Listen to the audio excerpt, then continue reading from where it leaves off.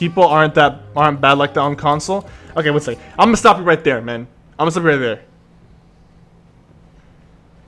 People are bad and people are good on every platform that this game plays on.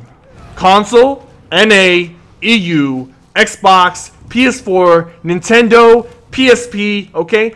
There are good players and bad players on every single platform. When someone says, oh, people aren't that bad on console, or oh, people aren't that bad on on you know this or NA or EU. Like this won't happen on those platforms. Let me tell you something. A lot of the times, and I'm not calling you out uh, for saying this, Enzo. I'm just in general. A lot of the times, you can't tell the difference between a bad player and a good player because you are the bad player. So when you look at these other players that are supposed to be bad, they play just as good as you, and you can't see the difference.